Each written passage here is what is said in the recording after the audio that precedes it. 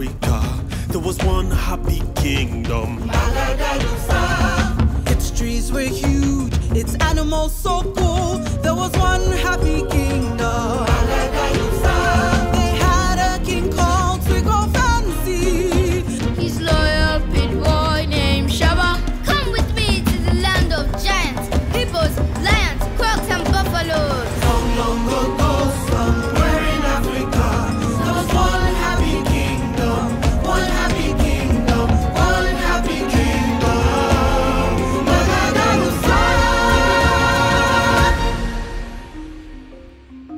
Hello and welcome to yet another episode of Stories from Magadalupsa. Magadalupsa was a kingdom that existed somewhere in Africa many years ago. Its most famous king was King Swigo Fanci, and his favorite page boy was Shaba. My name is Alera. Today I will be telling you why children play with toys. Long, long ago, in the kingdom of Magadalupsa, during the reign of King Swigo Fanci, lived a very beautiful young woman known as Blembuda. She lived alone in a small house close to the home of the parents of Shaba, the king's favorite page boy. Blembuda was a teacher in the palace of King Swigo Fanci. She taught the young princes, princesses, page boys, and other young children who resided in the palace mathematics. Many young men from Magadalupsa and other kingdoms had heard of her beauty and often came to ask for a hand in marriage. But Blembuda did not want to get married to anyone. She turned down every young man that came to ask for a hand in marriage. There was one man, however, who refused to give up. His name was Ipa Nosuko. Ipa Nosuko was a wealthy prince from a great kingdom located towards the north of Africa. He was very handsome and tall. He was strong and kind too. When he first heard about Blembuda, he traveled for several months on his horse, accompanied by three servants all the way to Magadalupsa. When he eventually saw Blembuda, he said to himself, She is the most beautiful woman I have ever set my eyes upon. I will do everything possible to make her my wife. Ipa Nosuko sent lots of gold and silver jewelry to Blembuda, but she rejected them all. He would wait on Blembuda while teaching the students in the palace. When she was done teaching, he would accompany her back home, telling her about his kingdom and how much he loved her. But Blembuda had no interest in the prince and his stories. Then one day, while paying a visit to his parents, Shaba received a visitor. It was Ipa Nosuko. My dear Shaba, I have come to you for help. I have never set my eyes on a woman as beautiful as teacher Blembuda. She is so lovely that any king would be proud to have her as his queen. I would like to have her as my wife. I plead with her every day, but she does not listen to me. She has no interest in me. I'm told she has no interest in getting married to anybody. She is my teacher. That's why I have come to you. Everyone I have spoken with says that you will be able to find a way to help me. Please help me. Shaba knew there was not much he could do. His teacher was an adult and he was just a child. How could a child recommend to an adult whom she should get married to? But Shaba felt very sorry for Ipa Nosuko. His clothes were tasteful and expensive, and he had servants waiting on him. Yet he looked so sad and pained. I'll do whatever I can to help you. In school the next day, Shaba told his fellow page boys, princes and princesses about Ipa Nosuko. I've never seen a man look as unhappy as this prince. We must help him. Is he good looking? He's more handsome than any man I've ever seen. Then maybe he should send her gifts. He has sent her gifts of gold, silver, silk, and lots of precious things. But she always rejects them and says she's not interested. Maybe he is rude and unpleasant. It's not enough to be rich and handsome. A decent woman does not only want a man to be kind and generous, he must also have good manners. Does he have strong muscles? A woman as beautiful as our teacher would want a man who can protect her. Is this prince strong enough to protect her? Prince Ipa Nosuko is well mannered, I assure you. He's also very humble. If he weren't, he wouldn't come to see a 12 year old boy like me at home. He's also strong and speaks several languages.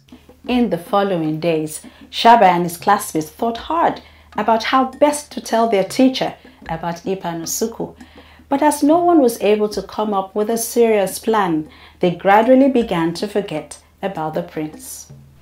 One morning, while having a late breakfast, King Swigo Fanci heard a loud noise coming from the royal visitors' lounge. As the noise grew louder, he asked Shaba to go find out what was responsible. At the hallway, some people were laughing heartily, but others appeared slightly worried. The object of the confusion was the royal teacher, Blembuda. Blembuda had arrived a little early at the palace and decided to wait in the royal visitors' lounge for school to commence. It was while she was waiting that Lohimi the lion walked into the lounge. Blembuda looked up and saw the lion standing right beside her.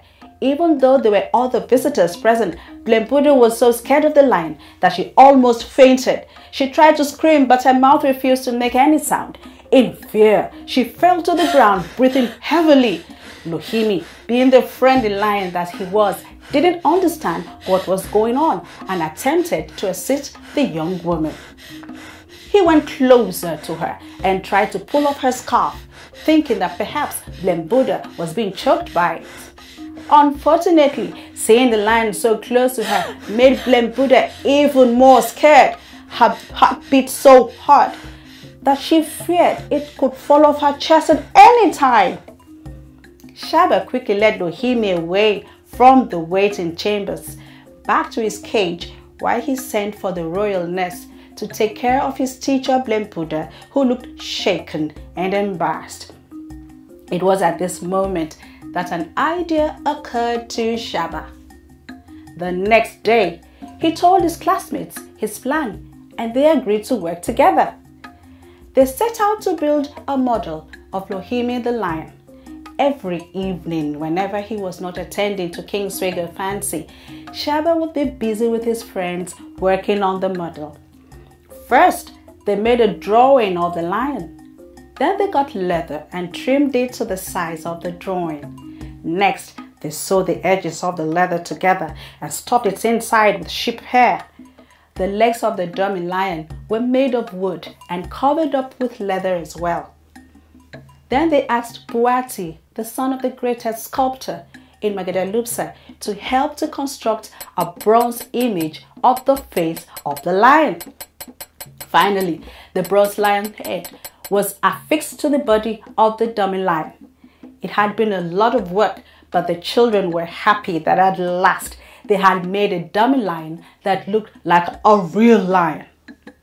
One day, two of the children covered the dummy lion in a wrapper, and while Blembuda was teaching in the palace, they carried it to a house. Here, they carefully unwrapped the dummy lion and placed it in her bedroom. Later that evening, when Blembuda was done teaching at the palace, she set off for the market. She needed to buy a few food items to make supper. As he did every day, Prince Ipa Nosuko, who had waited outside of the palace for Blembuda to finish her work, walked his horse quietly behind her. By the time she finished from the market and got back home, it was getting dark. She got into her kitchen and began to prepare her supper. While the prince waited with his horse and one of his servants outside of her home, Blembuda did not as much as cast a glance in his direction. He's wasting his time.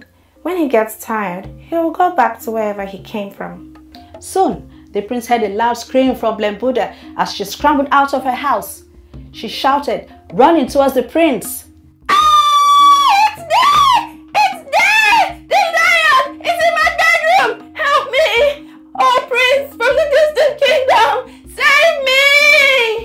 And she fell into the arms of the prince in fear.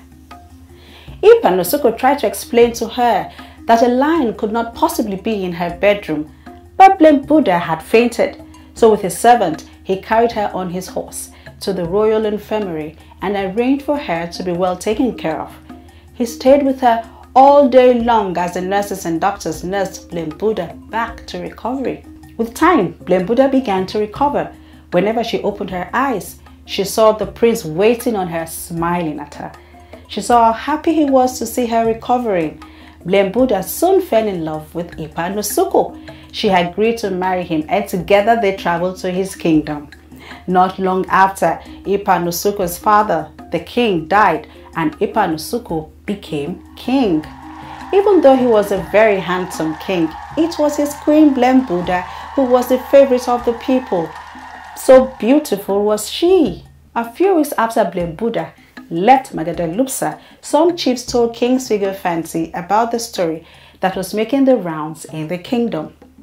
Shaba, they said, had connived with the good-looking prince Ipa Nosuko to trick Blembuda into marrying him. King Fanci was angry and sad and disappointed as he listened to this story. Shaba, I am disappointed in you. Why play such a prank on your own teacher? You have a big punishment waiting for you. I am sorry, Your Majesty. We didn't mean any harm. We only wanted to help the kind prince. Your punishment is that each of you will go back home and make a small model of your brother or your sister. You can make the models from wood, from clay, or even bronze.